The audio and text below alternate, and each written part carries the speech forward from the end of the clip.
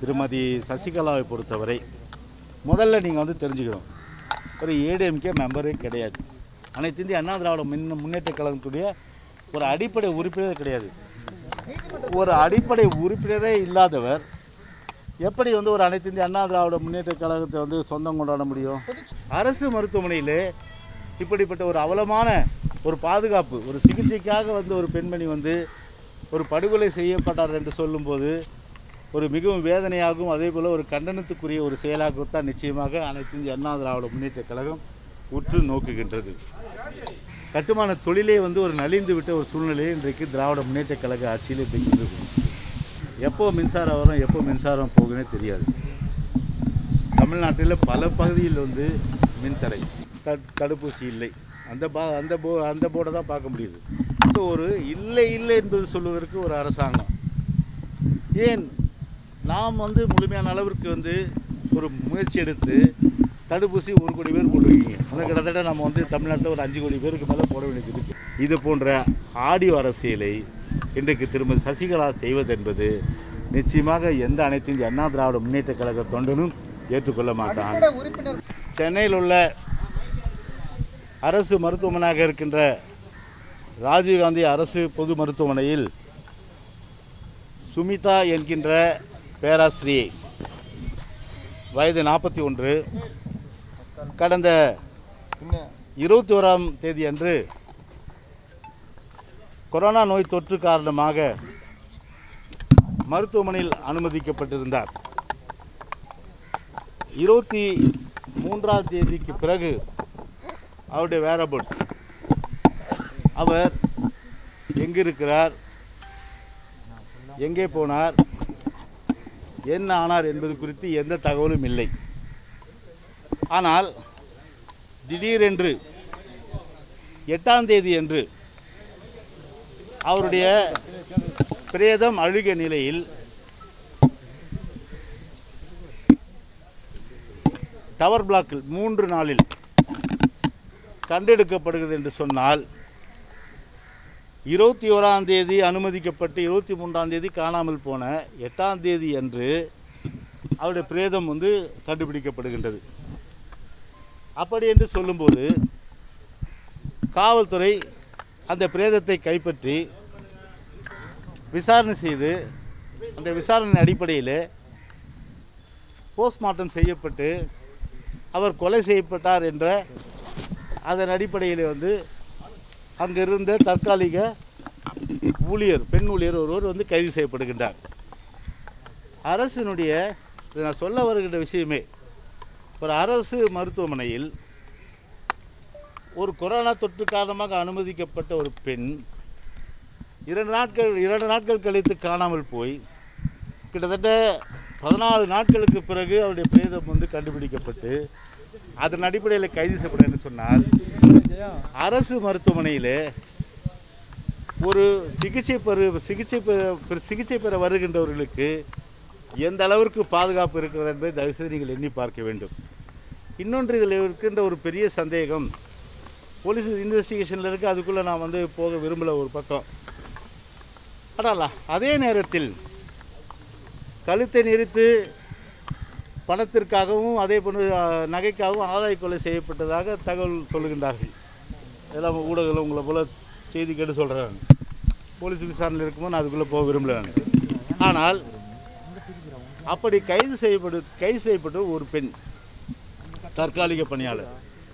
ஆனால் கழுத்தை நெறித்து கொலை செய்யப்பட்ட போது கிட்டத்தட்ட அவருடைய பிரேதம் வந்து டவர் மூன்று டவர் நாலு பிளாக்குக்கு அங்கு கொண்டு போகப்படுகிறது என்று சொன்னால் இதில் வந்து ஒரு பெண் மட்டுமா சம்மந்தப்பட்டிருப்பார் என்று தயவுசெய்து நீங்கள் நினைத்து பார்க்க வேண்டும்.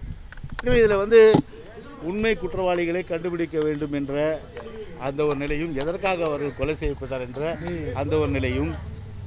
அதே போன்று அரசு மருத்துவமனையில் இப்படிப்பட்ட ஒரு அவலமான ஒரு பாதுகாப்பு ஒரு சிகிச்சைக்காக வந்து ஒரு பெண்மணி வந்து ஒரு படுகொலை செய்யப்பட்டார் என்று சொல்லும்போது ஒரு மிகவும் வேதனையாகவும் அதே போல் ஒரு கண்டனத்துக்குரிய ஒரு செயலாகத்தான் நிச்சயமாக அனைத்து இந்திய அண்ணா திராவிட முன்னேற்ற கழகம் உற்று நோக்குகின்றது. இரண்டாவதாக இந்த கட்டுமான பொருட்கள். சிமெண்ட் விலை அப்படியே டபுள் ஆகி போச்சு. கம்பி விலை அப்படியே டபுள் ஆகி போச்சு. கிட்டத்தட்ட நாற்பத்தி ஆறாயிரரூபா டன்னுக்கு இருந்தது. இன்னைக்கு கிட்டத்தட்ட எழுபதாயிரத்துக்கு மேலே இன்றைக்கி கம்பியினுடைய விலை. அதே போன்று ஜல்லி மணல்.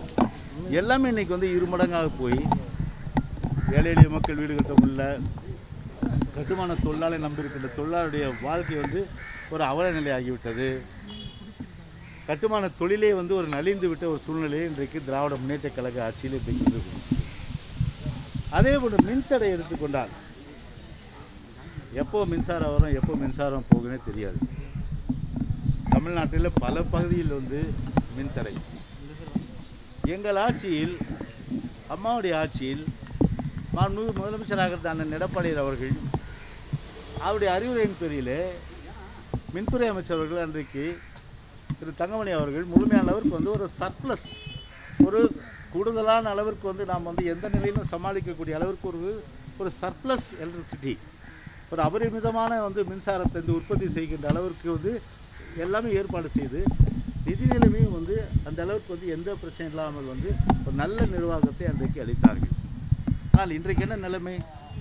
மின் தட்டுப்பாடு எப்போ மின்சாரம் வரும் எப்போ மின்சாரம் போகும் அப்படின்றதே தெரியாது.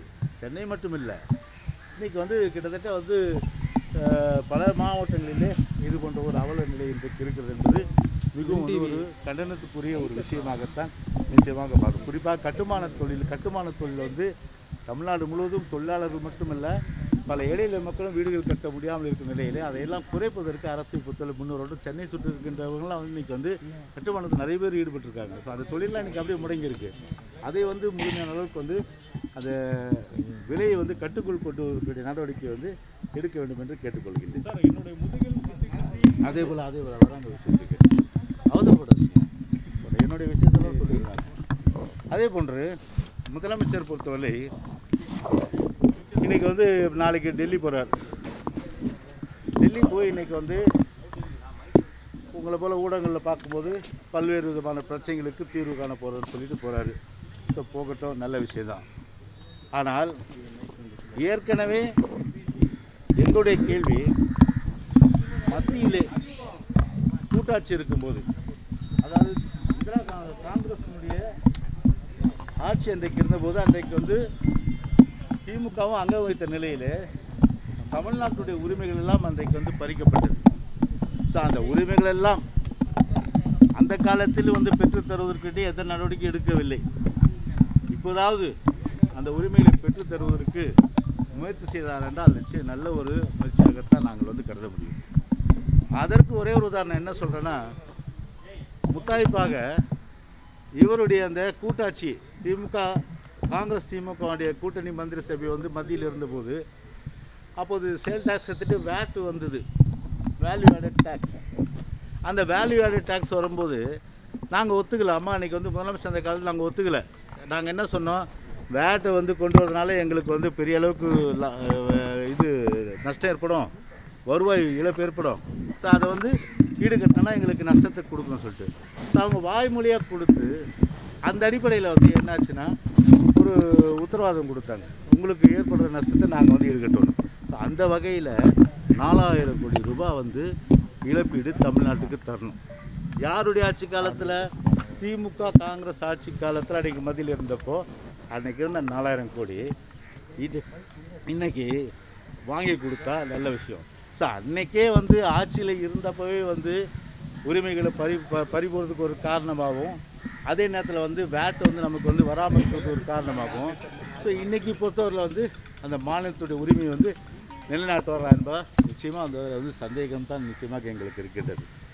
அதே போன்று கோவிட் தாக்குதலை பொறுத்தவரை இப்போ ஒரே விஷயம் தமிழ்நாட்டில் எங்கே போனாலும் தட் தடுப்பூசி இல்லை. அந்த பா அந்த போ அந்த போர்டை தான் பார்க்க முடியுது. ஸோ ஒரு இல்லை இல்லை என்பது சொல்வதற்கு ஒரு அரசாங்கம். ஏன் நாம் வந்து முழுமையான அளவிற்கு வந்து ஒரு முயற்சி எடுத்து தடுப்பூசி ஒரு கோடி பேர் போட்டுருக்கீங்க. அது கிட்டத்தட்ட நம்ம வந்து தமிழ்நாட்டில் ஒரு அஞ்சு கோடி பேருக்கு மேலே போட வேண்டியது இருக்குது ஸோ ரெண்டு லட்சம் ரெண்டு லட்சம் ஆறு லட்சம் ஊசி வந்திருக்கு. ஸோ அதிகமான அளவுக்கு தடுப்பூசிகள் வாங்கி ஸோ மக்களுக்கு வந்து தடுப்பூசி போடுகின்ற ஒரு பணியை வந்து விரைந்து மேற்கொள்ள வேண்டும் என்று தான் நாங்கள் வந்து அதை வந்து கேட்டுக்கொள்கின்றோம். அதே போன்று இந்த டீசல் சப்சிடியை பொறுத்தவரை என்ன சொன்னாங்க தேர்தல் வாக்குறுதியில் இன்றைக்கி டீசல் விலை பெட்ரோல் விலை அபரிமிதமாக இன்றைக்கி ஏறிட்டுருக்கு இன்றைக்கி வரலாறு காணாத வகையில் ஏறிட்டுருக்கு. எல்லா தரப்பட்ட தொழிலும் இன்றைக்கு பாதிக்கப்படுகின்ற ஒரு நிலைமை. அப்படி இருக்கும்போது ஆட்சிக்கு வர்றதுக்கு முன்னாடி எதிர்க்கட்சியில் நாங்கள் ஆட்சிக்கு வந்தால் அஞ்சு ரூபா பெட்ரோல் விலை குறைப்போம்.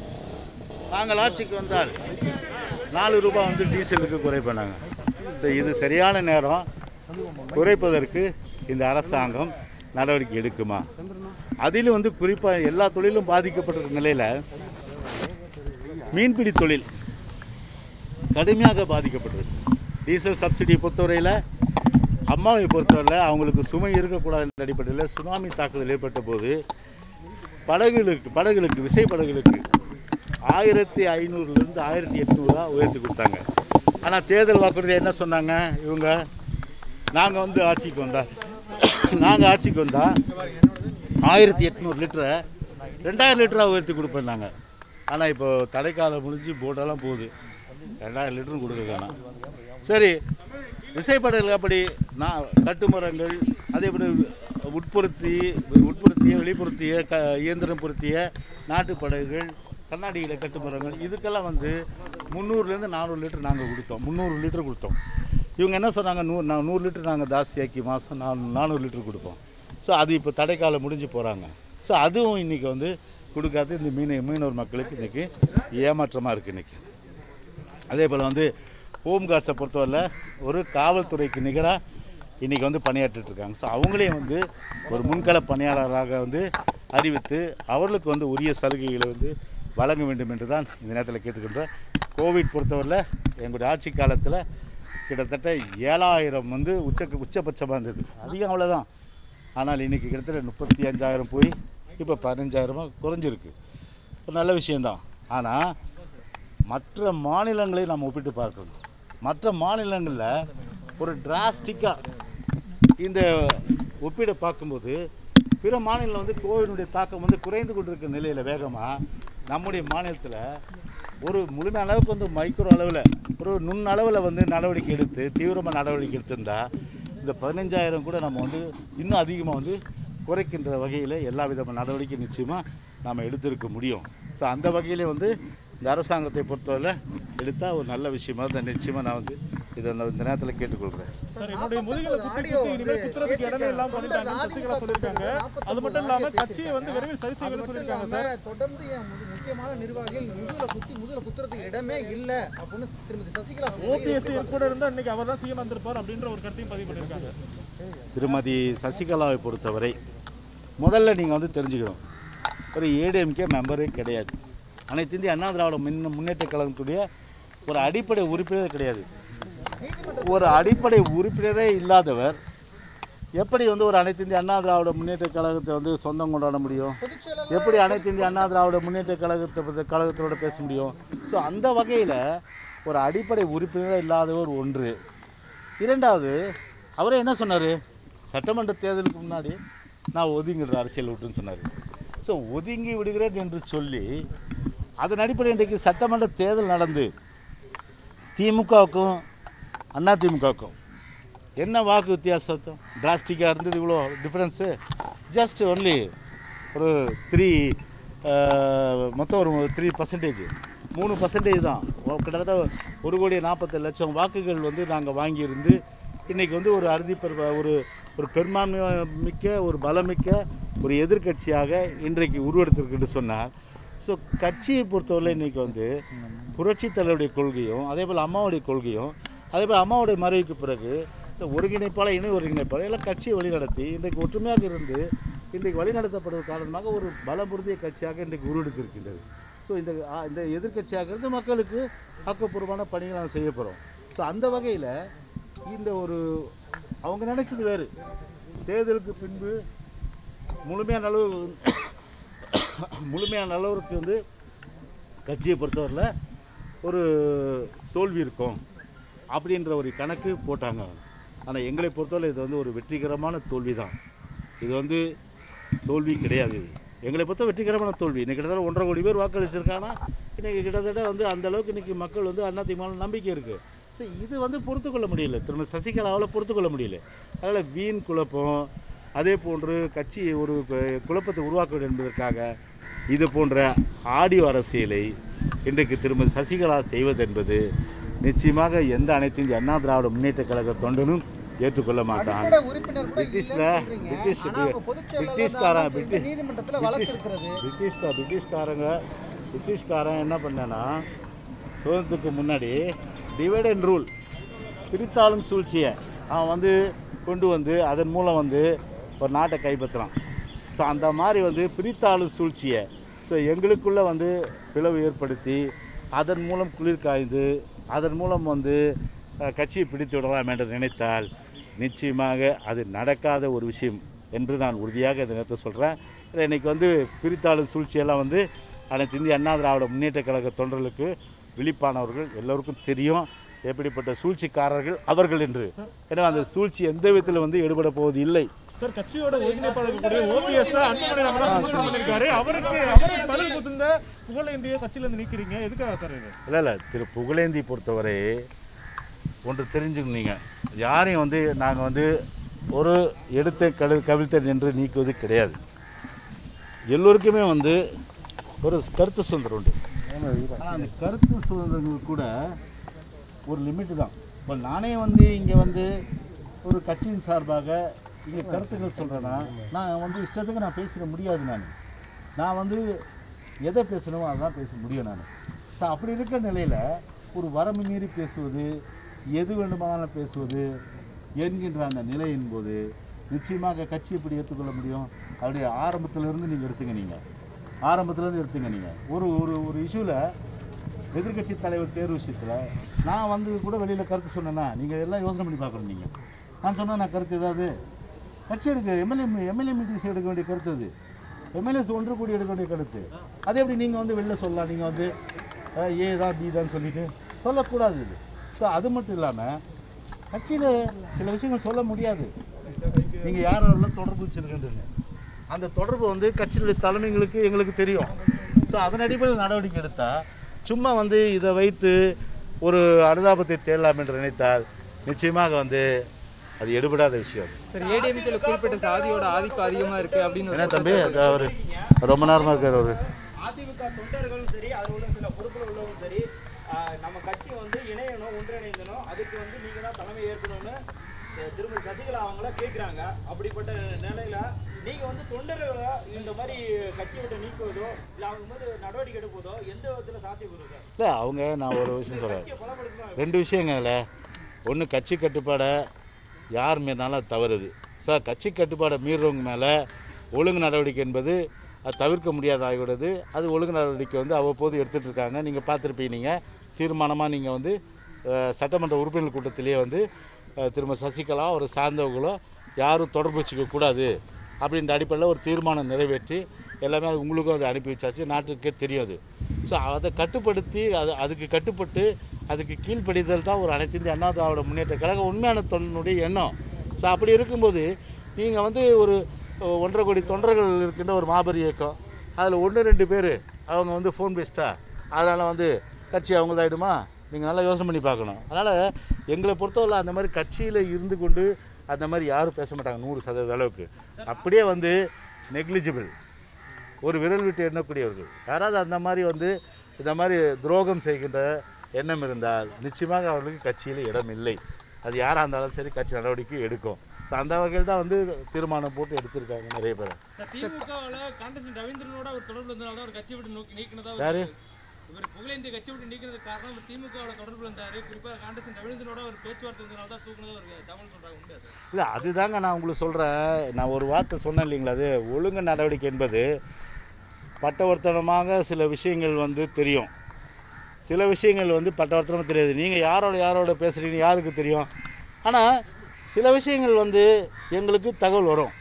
நீங்கள் வந்து இவரோட பேசுகிறீங்க அவரோட பேசுகிறீங்க அவங்கெல்லாம் யார்? கட்சி ஏற்றுக்கொள்ளாதவர்கள். கட்சிக்கு முரண்பாடானவர்கள். ஏன்னா அப்படிப்பட்ட அப்படி அப்ப- அப்படிப்பட்டவர்களோடு அப்படிப்பட்டவர்களோடு நீங்கள் பேசுன்னு சொல்லி எங்களுக்கு தகவல் வந்தால் அதை நான் வந்து ஓப்பனாக சொல்ல முடியாது அதை. புரியுதுங்களா? அது அது வந்து கட்சியினுடைய இன்னொரு விஷயம் அது. அப்படி அப்படி இருக்கும்போது அப்படி இருக்கும்போது அந்த மாதிரி நீங்கள் பேசிட்டு இருப்பீங்க. கட்சி ஏற்றுக்கொள்ள முடியாத ஒரு ஆளோட தொடர்பில் இருப்பீங்க. அதெல்லாம் வேடிக்கை பார்த்துட்டு இருக்கணுமா நம்ம? அப்படியெல்லாம் வேடிக்கை பார்த்து கொண்டு இருக்கிறது கட்சி கிடையாது. சார் ஒரு அதிமுகவுடைய ஒருங்கிணைப்பாளருக்கு அரசியல் செல்வாக்கு இல்லைன்னு சொல்லி கூட்டணி கட்சி தலைவர்கள் இதுக்கு உங்க தரப்புல இருந்து கண்டனம் எதுவும் உண்மை நிலை அதிமுகவில் ஓபிஎஸ்க்கு அரசியல் செல்வாக்கு இல்லையா? அதாவது அனைத்து இந்திய அண்ணா திராவிட முன்னேற்ற கழகம் என்பது ஒரு மாபெரும் இயக்கம் ஒன்று ரெண்டாவது வந்து தலைவர் காலத்தில் சரி அம்மா காலத்தில் சரி இப்பவும் சரி ஒரு ஒரு மாபெரும் வலிமை மிக்க ஒரு இயக்கமாக இயக்கமாக இன்னைக்கு வந்து இருந்துட்டு இருக்கு இன்னைக்கு. ஸோ இன்னைக்கு அம்மாவுடைய மறைவுக்கு பிறகு ஒருங்கிணைப்பாளர் என்ன ஒருங்கிணைப்பாளர் ஒன்றரை கோடி தொண்டர்கள் இன்னைக்கு வந்து இதில் வந்து மற்றவங்க சொல்லுகின்ற கருத்துக்கெல்லாம் வந்து நாங்கள் வந்து பதில் கொடுக்க வேண்டிய அவசியம் ஒருத்தர் வந்து ஒரு கருத்தை முன்வைக்கிறாரு. அது தொடர்பா கட்சி சார்பில் யாருமே அவருக்கு எதிர்ப்பு தெரிவிக்கல இல்ல பதில் அளிக்கலைன்னா அது என்ன? இல்லை அதுதான் சொல்கிறேங்க அதாவது வந்து ஒரு விஷயம் நீங்கள் தெரிஞ்சுக்கிறீங்க எங்களை பொறுத்தவரையில் வந்து பார்த்தீங்கன்னா வந்து எல்லோருக்குமே வந்து கருத்து சுதந்திரம் உண்டு. நீங்கள் கருத்து சுதந்திரம் சொல்லிட்டு இருக்கலாம். பட் அதுக்கு வந்து நான் பதில் சொல்ல வேண்டிய அவசியம் கிடையாது. ஒரு விஷயம். எங்களை பொறுத்தவரை என்ன? கட்சியை பொறுத்தவரை வந்து இன்றைக்கி வந்து ஒற்றுமை இருக்கா? அதுதான் நாங்கள் பார்ப்போம் மொழிய. நீங்கள் இப்போ அது சொன்னீங்கன்னா அது வந்து அவ்வளோதான் நீங்கள் சொல்லிட்டு போங்க. ஜெயலலிதா காலத்திலே அவங்களை யாராவது விமர்சனம் பண்ணா நீங்க தக்க பதிலடி இருந்தது. இப்போ வந்து ஒருங்கிணைப்பாளர் இருக்கக்கூடிய ஓபிஎஸ் விமர்சனம் பண்ணியிருக்காரு கூட்டணிக்கு உள்ளே இருந்துகிட்டு இப்படி ஒரு விமர்சனம் முன்வைக்கப்படும் போது நீங்க ஏன் எந்த கருத்தும் தெரிவிக்கல? இல்லை கூட்டணிக்குள்ள இருந்து கொண்டு கட்சியினுடைய ஒருங்கிணைப்பாளரையோ இல்லை இணை ஒருங்கிணைப்பாளரையோ பாமக மட்டுமல்ல வேறு எந்த கட்சி வந்து விமர்சனம் வந்தாலும் சரி அது ஏற்றுக்கொள்ள முடியாத ஒரு விஷயம். போதுமா? அது அது அது ஏற்றுக்கொள்ள முடியாத ஒரு விஷயம். ஆனால் அதே நேரத்தில் அதே நேரத்தில் எங்களுக்கு அடுத்த வேலை இருக்குது அதை எங்களுக்கு அடுத்த வேலை இருக்குது அதை நாங்கள் புறந்தள்ளிட்டு அடுத்த வேலை என்னவோ அதுதான் பார்க்கணும் அதை. அதை விட்டுட்டு அதையே போய் ஊதி ஊதி பெருசாக்கிட்டு இருக்க வேணாம் ஜெயலலிதா அவங்களுடைய மரணம் தொடர்பா சார் ஒரே நிமிஷம் ஒரே நிமிஷம். ஜெயலலிதா அவங்களுடைய மரணம் தொடர்பாக தமிழக முதலமைச்சர் விசாரிக்கிறதா ஏற்கனவே தேர்தல் அறிக்கையில குறிப்பிட்டிருந்தாரு நம்மளுடைய விசாரணையின் போது இது வரைக்கும் எந்த முடிவும் எட்டப்படவில்லை அதை எவ்வளவு தீவிரப்படுத்தணும்னு நினைக்கிறீங்க? இல்லை இப்போ எங்களை பொறுத்தவரையில் விசாரணை கமிஷன் அதாவது ஓய்வு பெற்றிருக்கின்ற உயர் நீதிமன்ற நீதிபதி நீதியரசர் திரு ஆறுமுகசாமி கமிஷன் ஆறுமுகசாமி அவர்கள் வந்து கமிஷனுடைய தலைவராக போடப்பட்டார். போடப்பட்ட நோக்கம் வந்து ஒரு கட்சிக்காரர்களும் அனைத்து இந்திய முன்னேற்ற கழகத்திலும் அதே போன்று தமிழ்நாட்டு மக்கள் வந்து அவருடைய ஒட்டுமொத்த வந்து அம்மாவோட மரணம் குறித்து உண்மை நிலையை வந்து நாட்டுக்கு தெரிவிக்க வேண்டும் ஸோ அந்த அடிப்படையில் தான் கமிஷன் போட்டோம். ஆனால் கமிஷன் போட்டு உச்சநீதிமன்றத்தில் வழக்கு தொடுக்கப்பட்டு சில சில பேர் ஒரு ஹாஸ்பிட்டலில் அது வழக்கு தொடுத்து அந்த அடிப்படையில் வந்து இப்போ பெண்டிங் இருக்குது ஸோ அந்த பெண்டிங் வழக்கை வந்து உடனடியாக புதிதாக அரசு பொறுப்பேற்றிருக்கு. ஸோ அதை புதிதாக பொறுப்பேற்றிருக்கிற அரசை பொறுத்தவரையில் அதை வந்து முழுமையான அளவுக்கு வந்து அதிலிருந்து அந்த வழக்கிலிருந்து இப்போ ஒரு ஸ்டே வந்து வெக்கேட் பண்ணி உடனடியாக வந்து விசாரணையை வந்து மேற்கொண்டு உண்மை குற்றவாளிகளை நாட்டு மக்களுக்கு கண்டுபிடிக்க வேண்டும் என்பதுதான் எங்களுடைய நிலையும் கூட. ஸோ அதில் எந்த மாறுபட்ட கருத்து இல்லை. ஏன்னா த தப்பு செய்தவர் யாராக இருந்தாலும் சரி கண்டிப்பாக வந்து அவர் தண்டிக்கப்பட வேண்டும் என்பதுதான் எங்களுடைய ஒரு நிலை அது. அதனால் ஆட்சி மாற்றம் ஏற்பட்டது. ஸோ ஆட்சி மாற்றம் இருக்கும்போது வந்து நோக்கம் வந்து யார் போட்டது? ஒரே நோக்கம். அதிமுக ஆட்சி தானே நோக்கம். அதிமுக ஆட்சி தானே வந்து உறுதியாக வந்து கம்ப்ளீட்டாக வந்து இது அம்மாவுடைய மரணம் குறித்து நாட்டு மக்களுக்கு தெரிவிக்கணும் அந்த நிலையை தெரிவிக்கணும்னு போடப்பட்ட விசாரணை கமிஷன்.